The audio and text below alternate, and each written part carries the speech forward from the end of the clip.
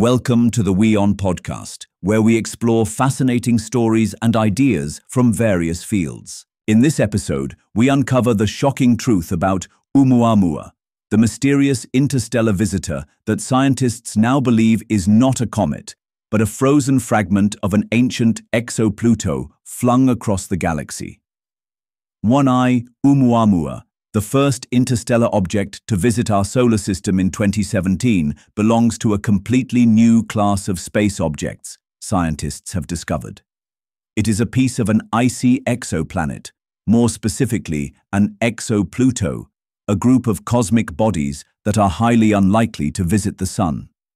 Everything about this object is consistent with it being a slab of nitrogen ice, like you see on the surface of Pluto, said Steve Desch, an exoplanet researcher at Arizona State University.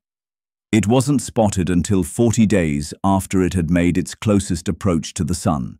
Canadian Robert Weryk spotted it using the Pan-STARRS telescope at Haleakala Observatory, Hawaii, on 19th of October 2017. Its strange, elongated shape caught the attention of space enthusiasts who were awestruck to see the weird space rock floating through our star system. Objects that originate in the solar system are a mix of water ice, rock, and carbon-rich material, remnants from the time the solar system was born.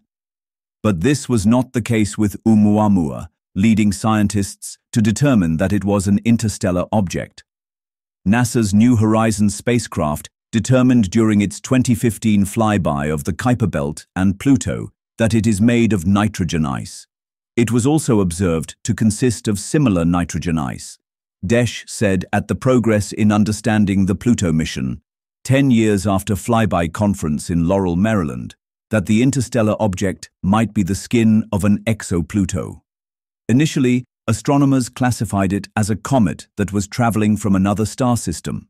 However, recent findings suggest that it might not be a comet at all. Oumuamua appears to be almost pure nitrogen ice, which places it in a different category of objects.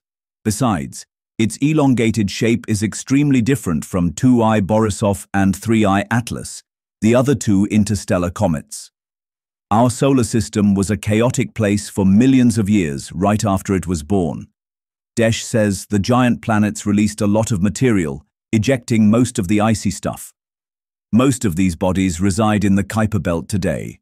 He adds that at one point, there was probably so much of this stuff that 2,000 Plutos could have been born from them. However, collisions led to the scraping of nitrogen from the outermost layer of these Plutos.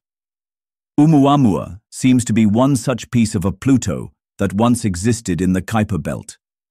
Desch and Jackson believe that Oumuamua's properties show that it is more likely a fragment of a Pluto-like object than a comet.